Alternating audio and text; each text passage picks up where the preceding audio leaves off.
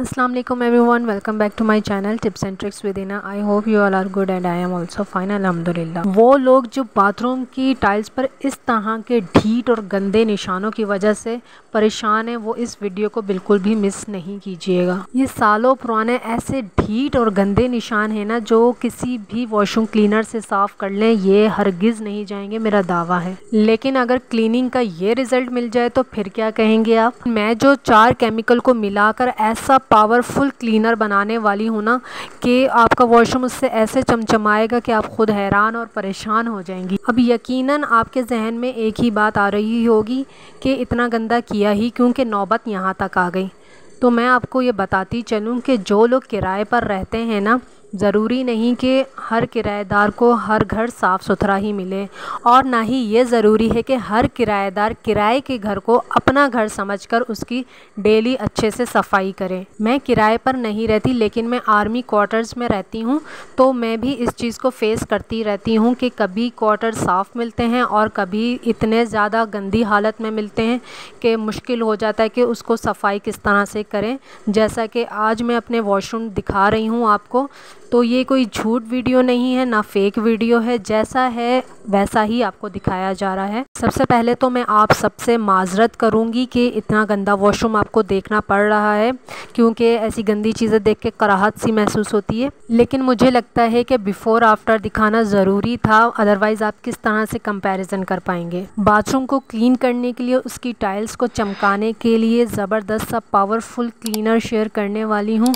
तो वीडियो को full watch कीजिएगा, बिल्कुल भी स्किप नहीं कीजिएगा। So let's begin the video bathroom cleaner बनाने के लिए जो सबसे पहले चाहिए होगा वो है थ्री टेबल स्पून भर के बेकिंग सोडा बेहतरीन क्लीनिंग एजेंट है ये। इसके बाद जो चाहिए होगा वो वन या टू टेबल स्पून भर के कोई भी डिटर्जेंट ले लिएगा फिर उसके बाद जो हमें चाहिए होगा वो है बाथरूम क्लीनर कोई भी हो, चाहे डोमैक्स हो या हारपिक हो, जो भी हो। तो थ्री या फोर टेबल स्पून भर के ये भी ऐड कर देना है, क्योंकि मेरा बाथरूम बहुत ज़्यादा गंदा हो रहा है, बहुत ज़्यादा स्ट्रेन है, इसलिए मैं ज़्यादा केमिकल बना रही हूँ। आपने कम बनाना है तो क्वांटिटी कम कर दीजिएगा।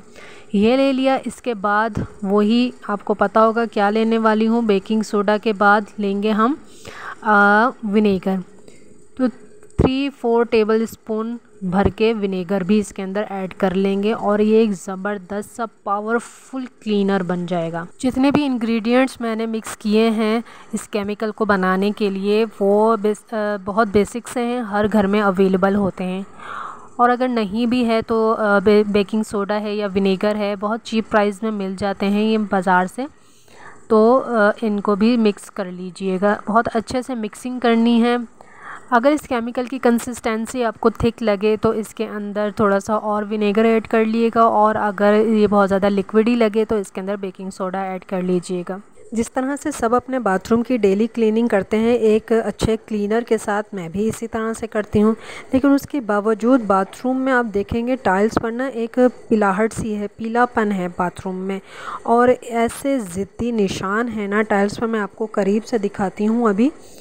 इतने ढीठ निशान हैं, इतने ज़िद्दी और पुराने, सालों पुराने निशान हैं। ये ज़ाहिर है, पता नहीं कितने लोगों ने इस वॉशरूम को यूज़ किया होगा। कुछ लोग ऐसे आए होंगे जो साफ़ करते होंगे, कुछ लोग ऐसे आए होंगे जो बस धो देते होंगे, ज़ाहिर है। तो इतने पुराने ये निशान हैं ना, मैंने बड़ी कोशिश की कि मैं इनको हटा दूँ, साफ़ कर दूँ, लेकिन आम क्लीनर से तो ये जाते ही नहीं हैं।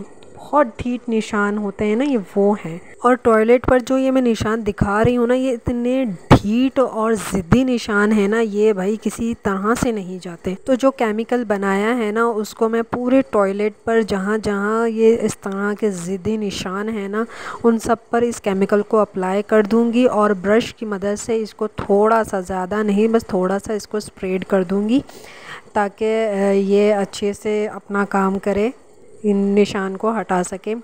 ज़्यादा ब्रश नहीं मारना है। इस तरह से फिर ये बह जाएगा, केमिकल हट जाएगा। तो हल्का सा ही ब्रश मारना है और इसको कम से कम दो से तीन घंटे के लिए छोड़ देना है। ओवरनाइट के लिए छोड़ देते हैं तो क्या ही बात है, मैंने तो सिर्फ़ दो घंटे के लिए ही छोड़ा था। तो उसमें भी इस, काफ़ी इसका असर हुआ। दो से ढाई घंटे के लिए ये केमिकल लगाकर मैंने छोड़ दिया था। उसके बाद मैंने ले लिया है ये एक स्टील वूल। ये यूज़लेस है, किचन के इस्तेमाल में नहीं है। तो ये ले लिया है। इससे मैं स्क्रब करूँगी फ्लोर पर। जितने भी जो स्टेन है ना, इसी से फिर हम साफ़ करेंगे। अपने मैंने शॉपर पहन लिया ग्लव्स हैं तो ग्लव्स पहन लें। तो अब मैं आपको दिखाती हूँ कि ये देखें, ये सारे निशान हैं जिनको क्लीन करना है। इतने डीप निशान थे ना ये। थोड़ा सा स्क्रब मारना पड़ेगा थोड़ी सी मेहनत तो करनी पड़ेगी। ज़ाहिर है मेरे वॉशरूम में तो ये सालों पुराने निशान हैं। तो ज़ाहिर है इसको थोड़ी सी तो मेहनत चाहिए होगी ना। तो ये वाला जो क्लिप है ना, मैं इसको बिल्कुल भी कट नहीं कर रही हूँ और ना ही इसको फास्ट वर्ड कर रही हूँ। वो इसलिए कि ताकि आपको अच्छी तरह से समझ आ सके कि क्या रिज़ल्ट आ रहा है और किस तरह से मैं इसको क्लीन कर रही हूँ या मैं इस पर कितनी एफ़र्ट लगा रही हूँ। तो जो केमिकल इस पर अप्लाई किया था ना इन स्टेन्स पर दो घंटे, ढाई घंटे के लिए, उसने काफ़ी हद तक अपना असर कर दिया है। यानी अब हमें इतनी एफ़र्ट नहीं लगानी पड़ेगी। तो जो मैल है ना, वो काफ़ी हद तक फूल गया है और ना इसकी जो सख्ती थी ना, वो कम हो गई है।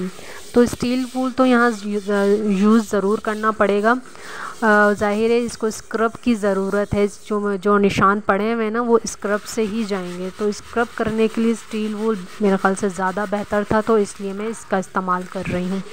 और ये देखें आप से ही आ, स्टील वूल मैं मार रही हूँ और ये निशान जा रहे हैं। वरना इतनी आसानी से जाते नहीं हैं। मैं पहले ट्राई कर चुकी हूँ। स्टील वूल से या किसी भी चीज़ से इसको मैंने काफ़ी स्क्रब करने की, रगड़ के, साफ़ करने की कोशिश की है। सर्फ से धोया है और जो हारपिक होता है, उससे क्लीन किया है। तो हारपिक से ये नहीं जाते। बिल्कुल भी नहीं क्लीन होते। ये सालों पुराने निशान हैं, ये इतनी आसानी से नहीं जाते हैं। तो ये डबल पावर वाला क्लीनर बनाया है।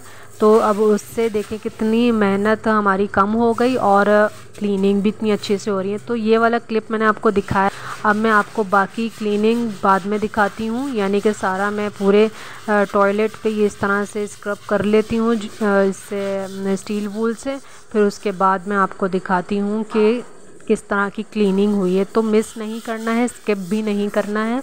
रिज़ल्ट ज़रूर देखना है कि क्या रिज़ल्ट आया है। और ये देखें, ये मैं पानी हटाकर आपको दिखा रही हूँ, थोड़ा सा ही स्टील वूल मारा है तो ये काफ़ी हद तक क्लीन हो गया है। अब इसी तरह से मैं पूरे टॉयलेट पर स्टील वूल एक बार फेर लेती हूँ, फिर उसके बाद मैं आपको क्लीनिंग दिखाती हूँ। तो थोड़ी देर गुजर चुकी है थोड़ा सा स्टील वूल से साफ़ करने के बाद अब इसको मैं पानी से पूरा वॉश कर लूँगी, साफ़ कर लूँगी। ज़्यादा मैंने नहीं रगड़ा है, सिर्फ़ दस मिनट लगे होंगे तो पूरे टॉयलेट को जो स्टेन्स लगे हुए थे उनको, उनके ऊपर स्टील वूल मारा और साफ़ हो गए। और ये आप देख सकते हैं कंपैरिजन पहले कितना येलो भी था और जो फ्लैश पर आप ये देखें कि कितने जो हीट वाले निशान थे ना वो अब देखें, इतना सा भी आपको फ्लैश पे कोई निशान नज़र नहीं आ रहा होगा। इवन के पूरे टॉयलेट में आपको कहीं कोई इस तरह के ज़िद्दी निशान नहीं नज़र आ रहे होंगे। सारा साफ़ हो चुका है। जो थोड़ा सा ये शेड पड़ रहा है ना तो ये गेट मेरा पूरा नहीं खुलता। उसकी वजह से ये ये जो आपको दीवारों पर जो शेड नज़र आ रहा है ना, उसकी वजह से आ रहा है। वरना ये बिल्कुल क्लीन हो गया है। कहीं कोई निशान नहीं है। इतना ज़बरदस्त ये केमिकल है ना बिल्कुल नहीं रगड़ना पड़ा। बस स्टील वूल को थोड़ा सा तो इस्तेमाल करना पड़ेगा, क्योंकि स्टेन ही वो इस तरह के थे कि उसको स्क्रब मारेंगे कोई चीज़, तब वो साफ़ होगा। इस होममेड क्लीनर ने तो कमाल कर दिया, ज़बरदस्त क्लीनिंग हो गई है। इससे ज़्यादा अच्छी क्लीनिंग तो मैं कहती हूँ हो ही नहीं सकती है किसी और केमिकल से। तो वो लोग जो टाइल्स पर स्टेन्स की वजह से, निशानों की वजह से बहुत ज़्यादा परेशान हैं टॉयलेट येलो हो रहा है, साफ़ नहीं हो रहा है तो